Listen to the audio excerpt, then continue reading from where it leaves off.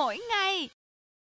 Đùi ếch áo một lớp bột vàng ươm, giòn rụm, bên trong thịt ếch mềm, thơm, ăn cùng sốt mayonnaise béo béo và salad dầu giấm chua ngọt. Một món ăn đơn giản nhưng rất cuốn.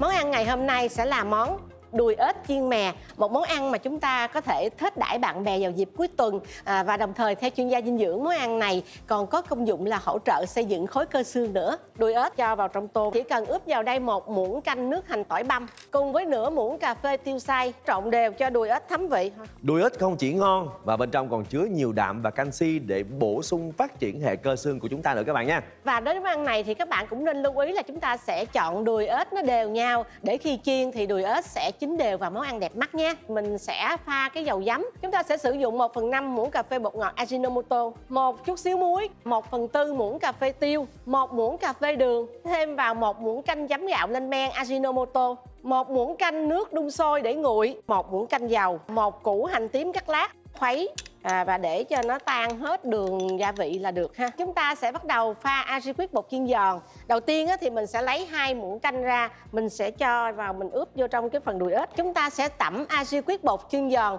đều xung quanh thịt ếch để cho món ăn được thấm đều vị nhé các bạn. Phần còn lại thì mình à, sẽ cho vào trong tô và mình pha nước.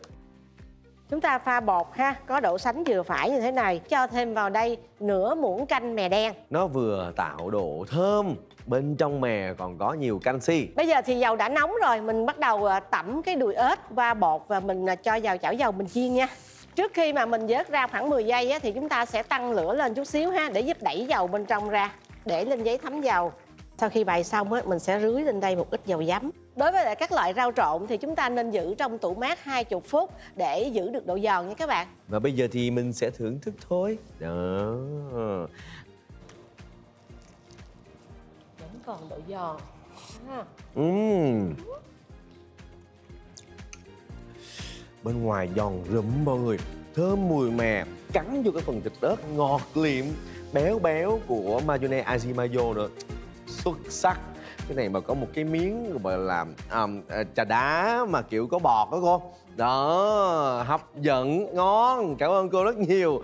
Và các bạn cũng lưu ý là để đạt hiệu quả dinh dưỡng thì mỗi ngày hôm nay các bạn nên kết hợp theo thực đơn như gợi ý bên dưới nhé.